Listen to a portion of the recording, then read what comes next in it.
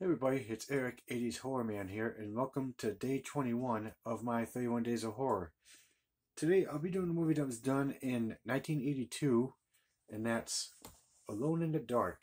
Now this movie stars uh, Jack Palance and Donald Pleasence, and this movie is basically about where this new doctor moves into town with his family, and he ends up working at a mental institution to take over the other doctors as uh, sessions with the, the, the mental patients at the institution.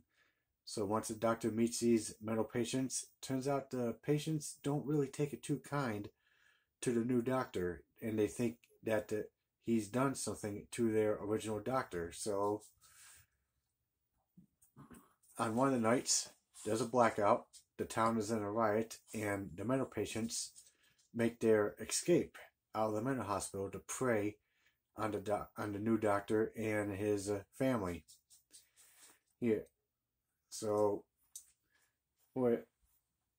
This is a, a very fun '80s horror movie, yeah, and I thought uh, Donald Pleasence did good in this one, and I thought Jack Palance actually did a very good job in this one, playing uh, Hawkes, the the main mental patient, and this is uh, the new cover art when Scream Factory released this. This is the original poster art because I remember seeing the original poster art to this movie a long time ago back in Blockbuster during the VHS days.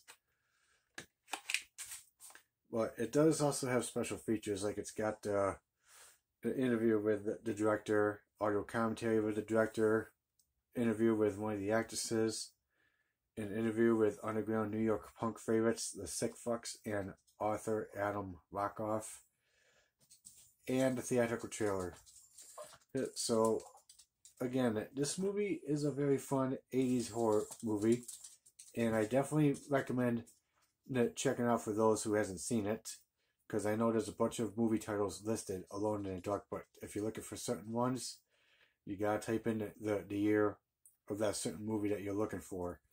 So, Alone in the Dark from 1982, I highly recommend it to watch. And out of possible 10, I give this movie 8.5 out of 10 because, again, this was very fun to watch and I definitely enjoyed it because I remember watching this a couple of times on YouTube. So you could either get this movie on Blu ray or watch it on YouTube for free because the DVD of this movie is way, way out of print.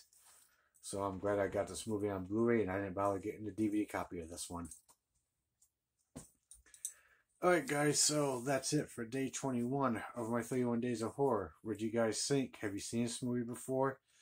If so, please let me know in the comments down below. I'd like to hear your thoughts. Also, like and subscribe to the channel. And stay tuned for some more videos of the 31 Days of Horror. Later.